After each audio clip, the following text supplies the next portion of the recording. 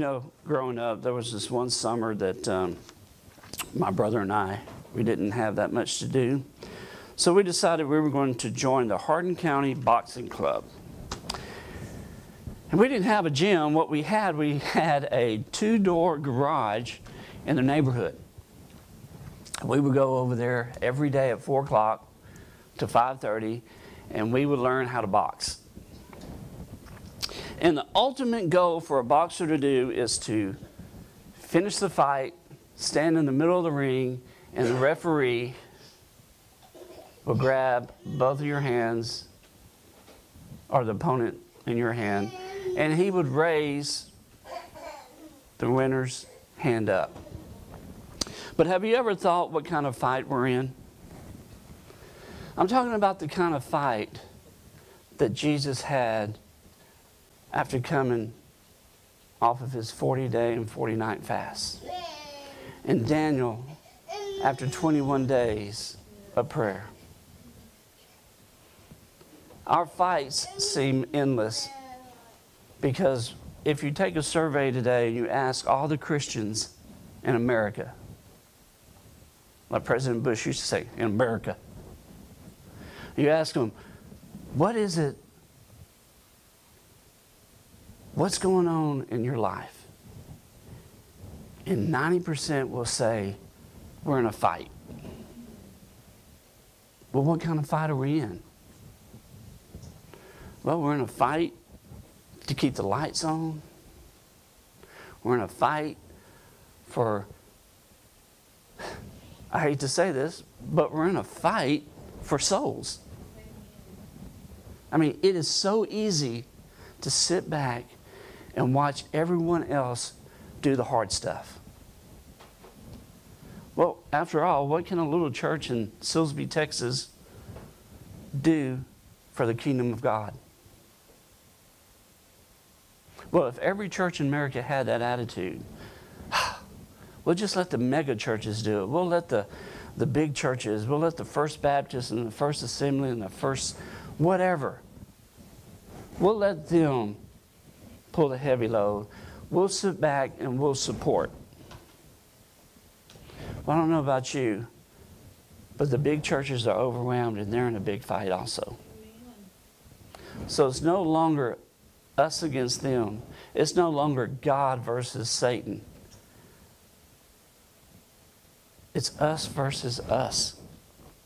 Because we're defeating ourselves. We are so wrapped up into what we think God wants us to do, to, to, to settle down, get in His Word, and find out exactly what we're going through. We are going through a fight. But listen to this. If you go to MD Anderson today, you will see floors and floors and floors of kids that haven't done anything.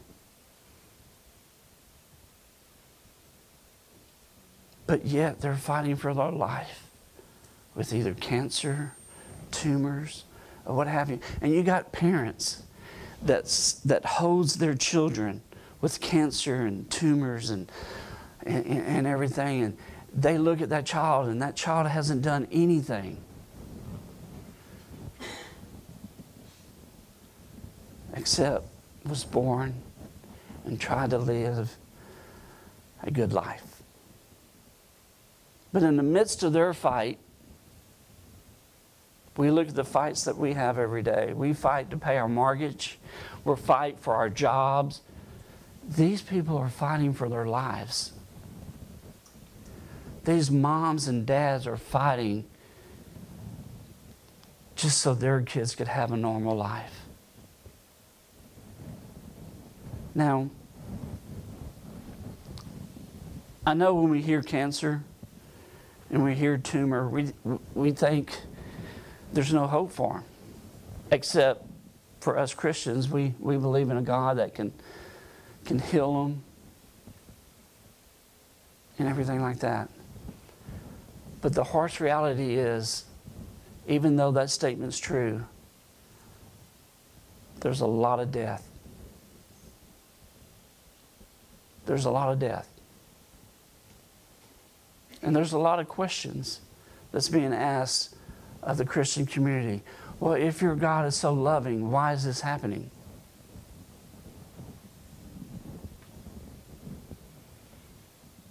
And that's one of the hardest things to answer. Except I can say this my God is still in control, my God still holds his position in heaven. Now, whenever we look in Exodus 17th chapter, we find that Moses and Joshua finds themselves in a fight against a mighty army. And then we find out that, you know, as long as Moses held his hands up high, Israel prevailed. But when he let his arms down, what happened? The Amalek would go for it. And I often wonder, like a, a fighter, you know, his, his reward is at the end, the referee raising his hands. But why can't we raise our hands during the midst of the battle? Why is it so difficult for us to give God possession of the fight that we're in? Why is it so difficult for us to understand hey, you know what?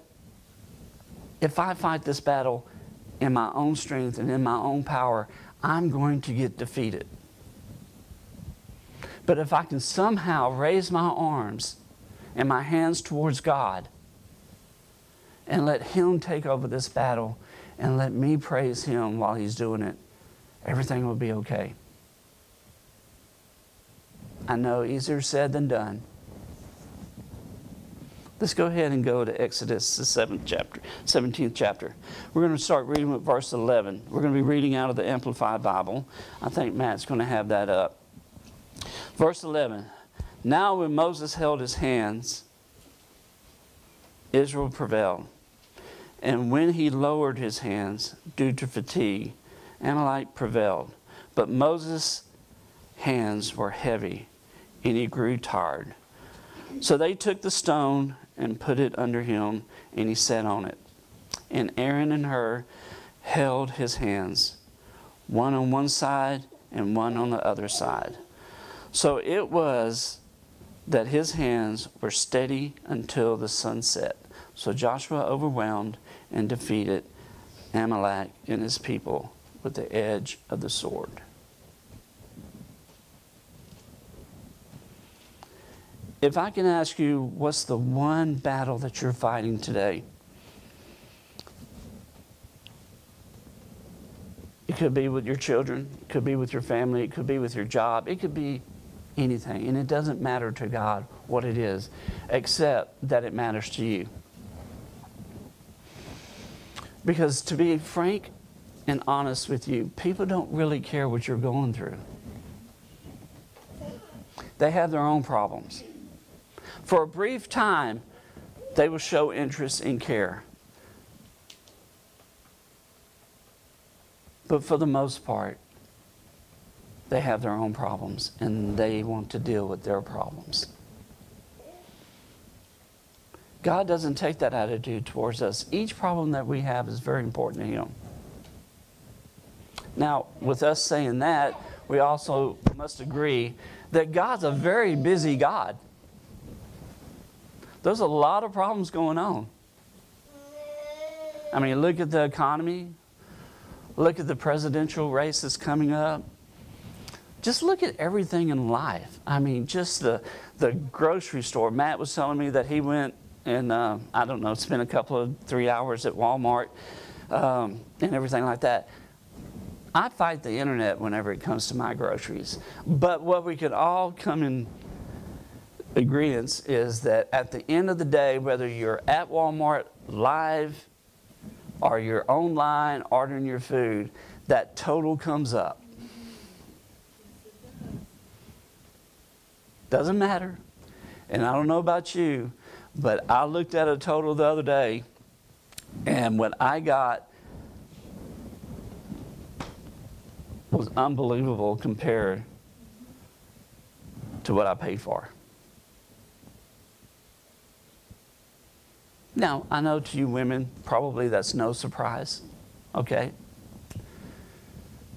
But I am so thankful that I get my eggs from the Dempseys because they're not cheap. Bread's not cheap. And I'm often reminded of the story that, um, you know, where it's going to be, uh, in order for you to get bread, you're going to have to have a wheelbarrow full of money and stuff like that. I remember Dad used to talk about that all the time. And even though I understand what they were saying, theoretically, we're in that spot now. Okay? We really are. I mean, and you're not even talking about meat and things like that. Now, where it used to cost to raise a baby for a month, $362, now it's probably closer to $675. Now, the, well, I know. Sarah's saying, and Daddy is saying, yes. Oh. But the reality is, we're in a fight that we've never been in before. And I don't want to compare myself to those moms and dads that are fighting with their children at MD Anderson or throughout the hospitals and homes throughout this world. But I do want you to realize that there is a God that is still in control. When things look hopeless, when the fight looks like it cannot be won, God will send a stone for you to sit on and rest. And will send someone to hold your left arm. And if you agree, God will also send one to hold your right arm up. And then when you look back and the battle is won, you can say, hey, we defeated them. But it was only through God. Now, we can go through a physical fight and we can come out victorious. But we're in a spiritual battle today. We're in a spiritual battle that only God can fight for us and win for us. Now, we will admit that prayer is our biggest weapon. All right? And if you don't believe me, just look how much time Jesus spent in prayer when he was walking this earth. Well, I can only imagine it was because of the fight that he was in. And he missed his dad. I mean, after all, what is prayer? It's a communication between you and your Heavenly Father. We will spend time talking to someone at our garage to fix our car, and we will go into great detail as to, hey, this is what's wrong with my car. It makes this funny noise.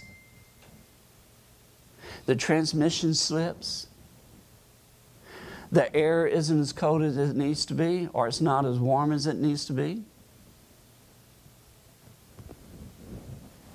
We will go to a doctor a perfectly stranger in our life, and we will tell them the ultimate things that are wrong with us. I got a sore throat. I got an itch. I got a pain. We will tell our doctor and our mechanics, but we won't go to God and give Him intimate details about our lives. Maybe because we're embarrassed. Maybe because, you know, we've always heard He already knows all this. Well, what do you think God and Jesus talked about? Everything.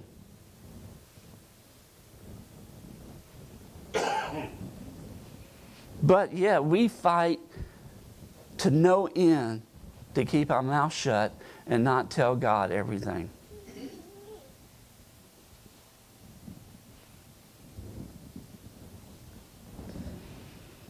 God, I'm I'm addicted to pornography. God, I'm addicted to alcohol. I have a drug problem. My wife and I love each other, but you know what? We can't find that intimacy anymore. I just don't feel happy at work anymore. I mean, is any of those problems I just mentioned greater than the God that we serve? I wouldn't have the job I have if it wasn't for God. I wouldn't have the spouse I have if it wasn't for God.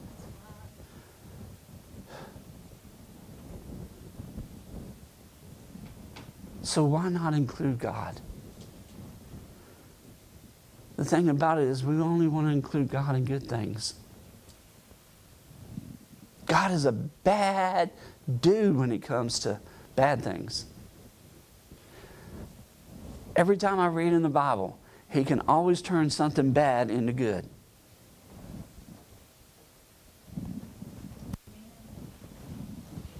And Satan's job, what does he do? He seems to take everything that's good, turns it into bad. Or he takes everything that's semi good, borderline good, and he seems to keep everybody depressed and oppressed and everything. But you know what? We also have a Satan in our life that everything's rosy. We don't think of Satan that way, but Satan can be a pretty cool devil. And what I mean by that is, he doesn't have to do anything bad.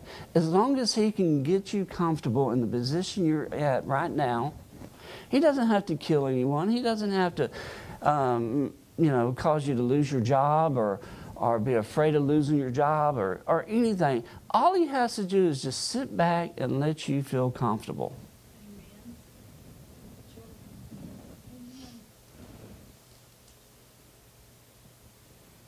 But what do we make God do? Well, God, if you're such a living or loving God, then why are babies dying? Why are people suffering with diseases and cancer and tumor and all this. We'll give God a hard time and want Him to explain every little thing that's wrong. We'll give Satan a free pass. Well, after all, if it's bad, it's God's fault. We're in a battle today that we've never been in before. We're in a battle where we don't know what good is, and we don't care. We don't know what evil is, and we don't care. We're just in a fight where we just don't care. Well, Brother Robert, that's not fair to say, and, and that just doesn't make sense. Now, if it made sense, if it made sense, Satan would be out of a job.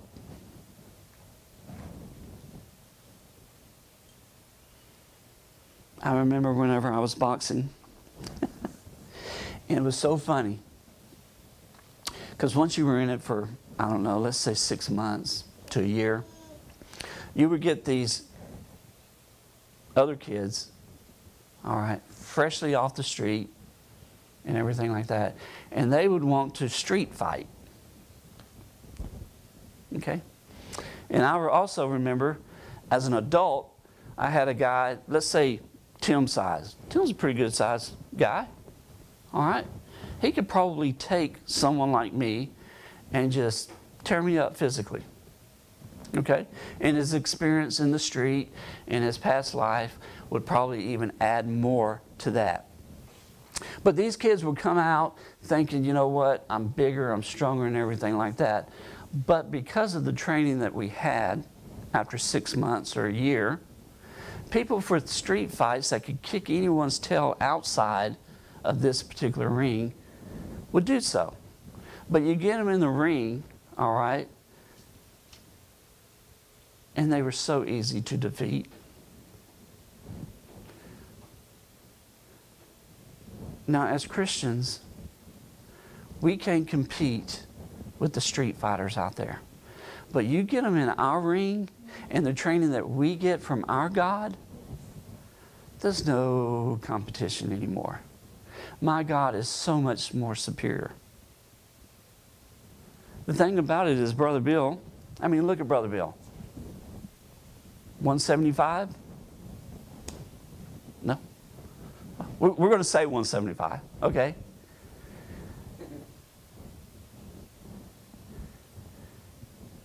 An NFL player, wide receiver, running back, whatever.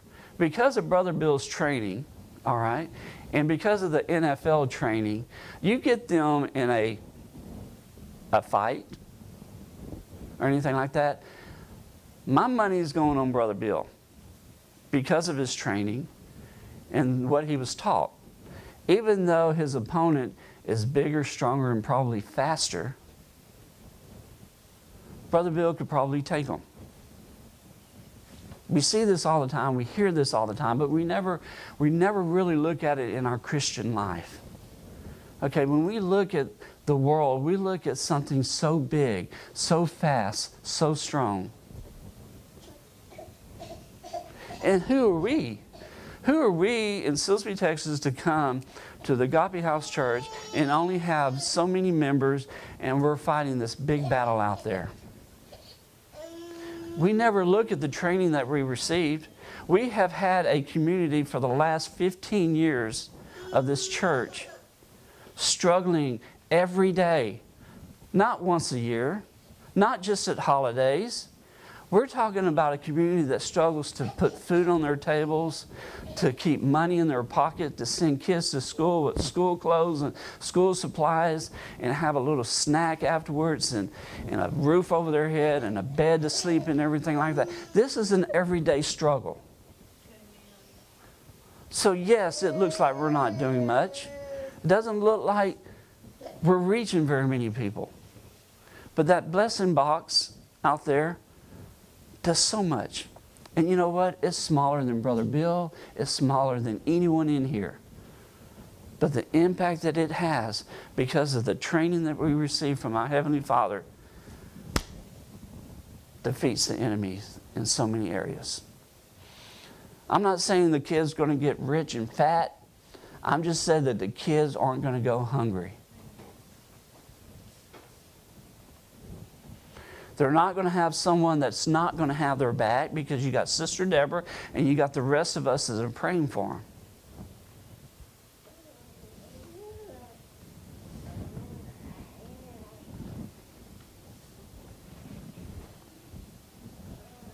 Keith Frazier, big old boy.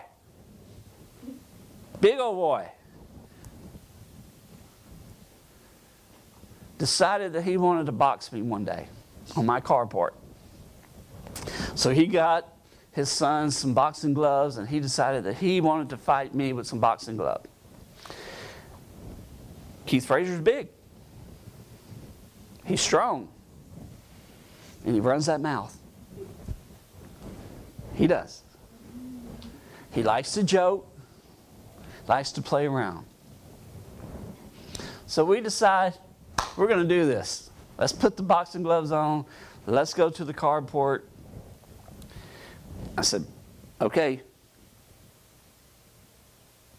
Any blood happens, we stop.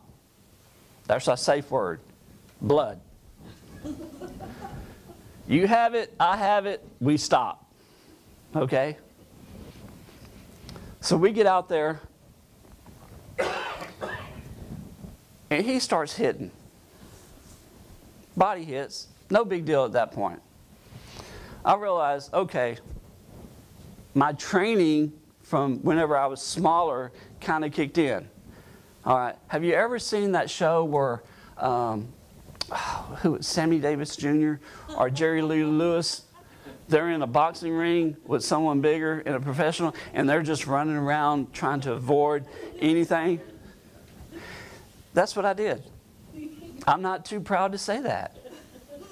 All right? Not too proud to say that because my experience taught me whenever I was fighting in Golden Gloves and I was in the championship and I had this little Japanese or Chinese guy, I don't even know what he was, but he was small. All right? I wasn't much bigger, but I was smaller than him. All right? And I was favored to win. And in the first round, probably in the first 30 seconds of the first round, he lands the glove right on the tip of my nose. Had all that Vaseline everywhere, but that didn't matter. He made direct contact on my nose, and a little blood squirted out. Not too bad, but the worst thing about it is, is my eyes teared up. And it got to the point where I couldn't see anything. So he just went to town on me. And my cockiness and my arrogance and what I thought I could do all by myself just went out the window with a little Chinese or, or Chinese guy just devastating me.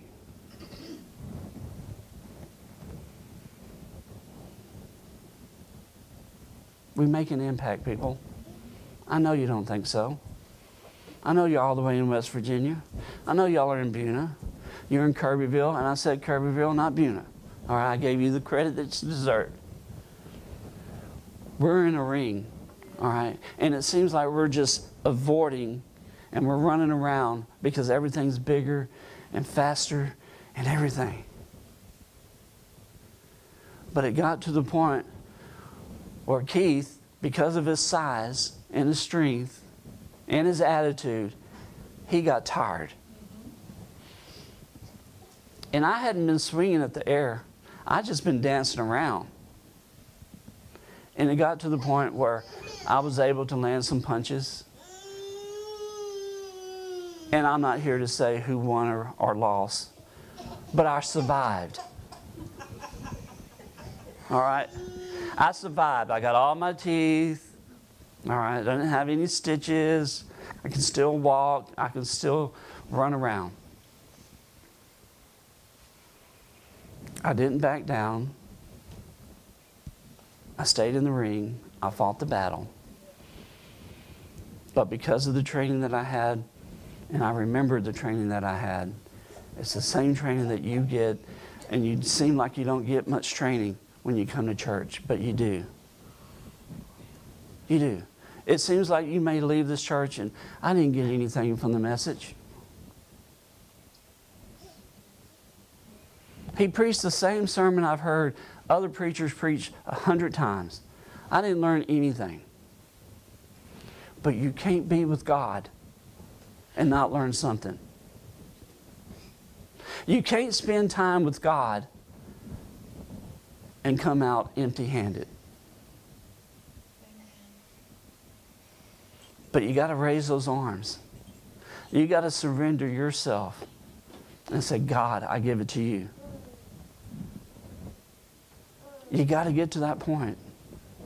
Because if you stay in that ring toe to toe, you're going to get beat down.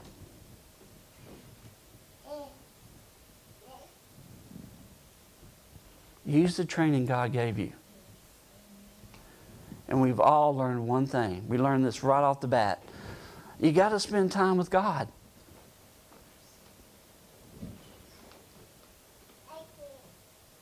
Once a Sunday to Sunday. I'll talk to God all day today. Get with me Monday, Tuesday, Wednesday, Thursday, Friday, and half a day Saturday. I didn't have time for God. I was too busy handling everything on my own.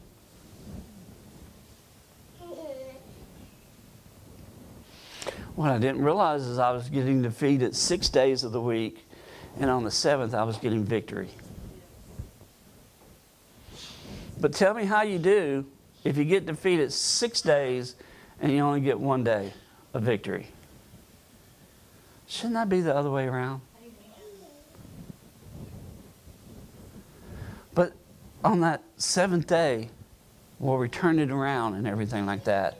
So now it's six and one. What if that one day you decide, you know what? I'm going to spend it praying for someone else. I'm a, yeah, amen, brother.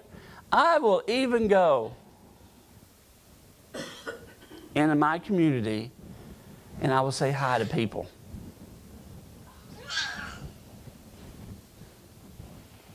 Candy's not here today. She's in our community. Where's she at? She's at work. We're not going to condemn her, condemn her for being at work. Why should we? She's making a living. But there's other people in this community that's never seen us, never heard us. They see the blessing box. But most of them, they wait till we leave before they come. I'm sure y'all can relate to that. People need help. People won't help. But they're embarrassed. And we're not here to embarrass people. But they still need to know that God is in control. Their culverts at home may be bare. Their car may be on empty. Their house note may be new, due this week. Their telephone may be due this week. But God is still in control. But you're talking about we serve a God that we communicate with, that we pray and we talk to. They don't have that. They don't have that peace that comes when you know something's due and you don't have the money, or you look in the refrigerator and you don't have the food. They don't have that peace that will come across. God's got this. God will send someone, something will happen, God will be in control and make this happen. They don't have that. All they see every day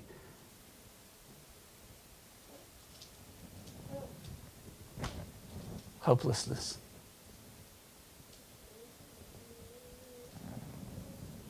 Most of us, some, have nice homes. Well, we all have nice homes. We can go home. We can, if it's cold outside, we can turn the heat on. If it's hot outside, we can turn the air conditioner on. All right?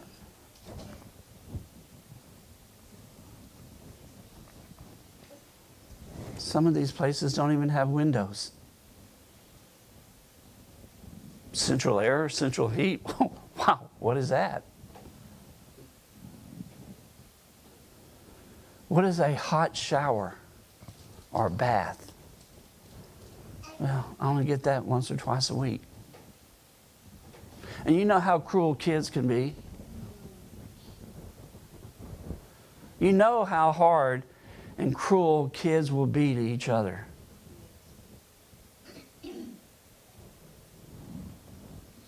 That child can't help that he smells. That child can't help so many things. And what does a kid do? They defend themselves. They get in fights. They stand up. They get an attitude. But deep down, they're hurting. And us adults, and we've been here before because we've had those kids in our church, and whenever they act up, we don't look at the fact that, oh my God, you know what?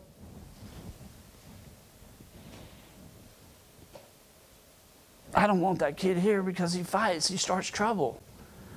Look where he came from. Yeah, they have propane this week. Next week they won't. This week, yeah, they got lights on. Next week they may not. Yeah, this week, because it's the first of the month, they've got food. But visit them the third and the fourth week of the month and see what they're struggling with then.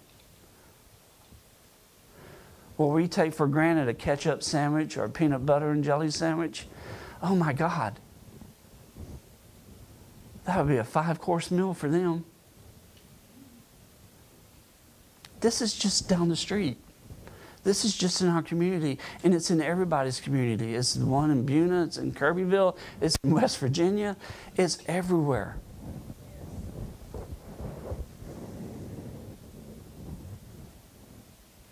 I guess I'm saying all this to say we're in a fight. All right? We're in a huge fight right now. So we've all got to come together. We've got to come together with one mind and one accord and say, you know what? There's people struggling. There's people that's that's that's that's hungry and thirsty and and, and, and, and they just don't know what's going to happen tomorrow.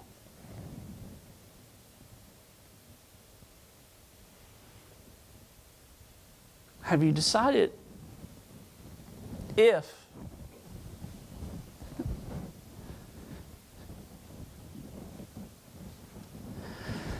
you know, we all know about the mark of the beast, all right, and we all have theories on how it's going to happen and everything like that. But let me just throw you this out, and I'll, I'll, I'll, I'll close with this. But there's actually, you don't actually have to go and get an injection and, and let them plant it in you anymore. You don't have to worry about your credit card or anything like that. You can just take a pill. And your body acid will be the battery. It, it will charge it. All right? I'm not saying this is the mark of the beast. I'm just telling you, technology is just so overwhelming now that, you know, we just thought that we will have, you know, something implanted in us or in our forehead or whatever, whatever you believe. All right? There's a lot of theories out there. But I never thought that there would be a pill I could take and that thing would be entering my body and my body acid will keep it charged so the government or whoever can keep track. Endless, endless supply of power.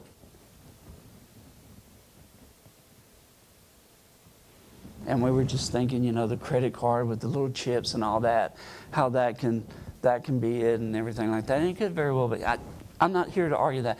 I'm just saying we're in a fight that we've never been in before. We're coming not only from behind and to the right and to the left and up and down. We're surrounded. Yes. All right? And I don't know about you, but the training that I have in the past that my mom and dad gave me was only the beginning. All right? We're at a much bigger level now. All right? And a year from now, you think technology has stopped? No, it keeps growing. And it keeps growing. And the thing about it is, is I don't consider myself smart. I consider myself average. All right? And for me to keep up with the technology that's going on, I can't do it.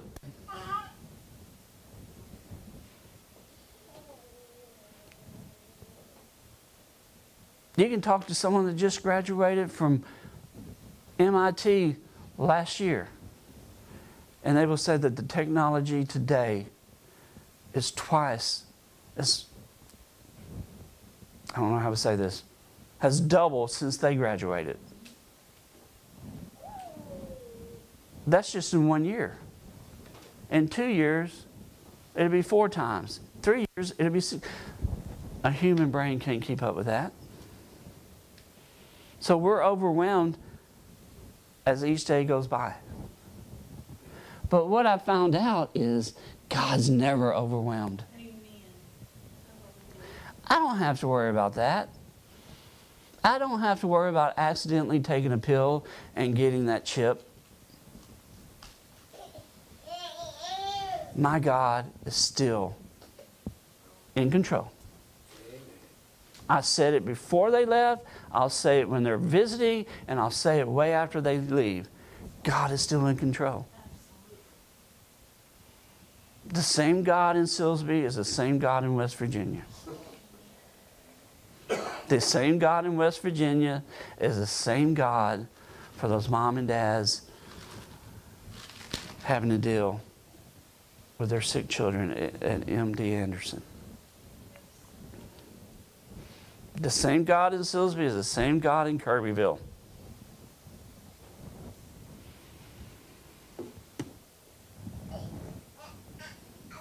So if you want a man, or if you want a woman, or you want a good job,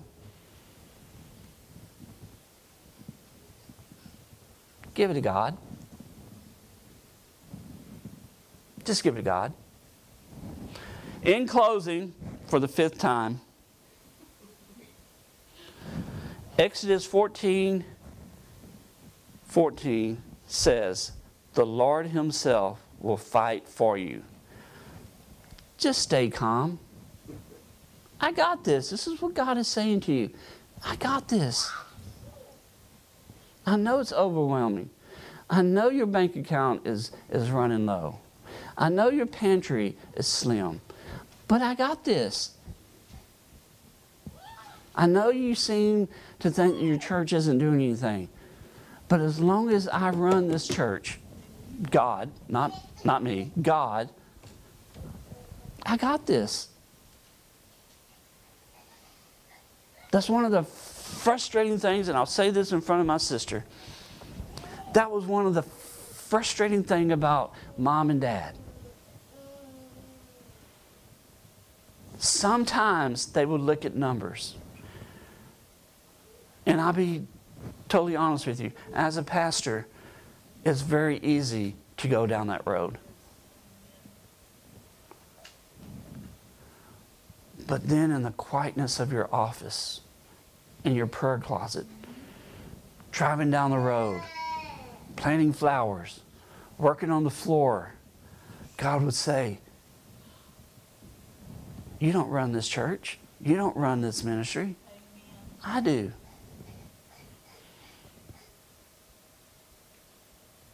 So, whatever you got now, it's because I gave it to you. Be satisfied. Don't gripe. Don't complain. Don't murmur. Don't start any strife. What you got is exactly what I gave you at the time you needed it. Please stand. You know what the favorite part? I knew that Blue was coming. I knew she was coming. Sis told me yesterday that they're in Texas. Now, whether or not I was going to see them this morning in this sanctuary or next week sometimes, I knew that I would see them. And I certainly would have heard from them if I didn't see them. So I have the best of both worlds. But my question was, and my question to God was going to be, would she have blue hair? Would she honor me with blue hair so I can continue to call her blue? I don't know about you, but that's the first thing I notice whenever I walk in. You can say it's purple. I'm saying it's blue. It is blue. Okay. See, it's blue. It always will be blue. It will always be blue, and you will always have that nickname. Jake will always be known as Mr. Blue. Sorry. Mr. and Sister Blue. Yep. Brother and Sister Blue. I tell people in West Virginia that you call them this. Absolutely. It's just something that will always stick. I, I don't get any negative. I get people stopping me all the time, little kids saying, oh, I love your hair. Absolutely. And Sister Deborah will always be Sister D. Sarah will always be Little Sarah. Brother D. Brother Bill will always be. And Miss Norma. How do you forget Miss Norma? And let me tell you, Tim was on the roll today. Y'all didn't get it, but me and Sis was up there, and we were talking about he's on the roll today. All right. And what I've learned in the last year or so is that Chris will always have a beard. The question is, did he get a haircut or is he letting it grow out? But what I'm saying here is we all have special things that we are known for. All right?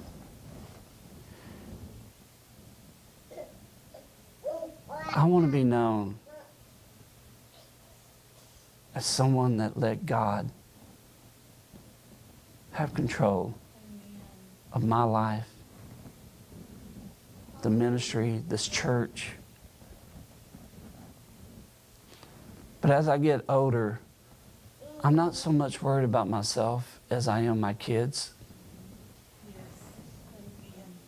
my family, even the people I work with. Because I know whatever I'm going through, I can come home and I can get in that quiet, still place, and God will talk to me and I will talk to Him. And He will answer me and I will answer Him. And I will have a relationship with Him and He will have a relationship with me. But my biggest, my biggest fear, concern, whatever you want to call it, is that someone that I know will never reach that spot.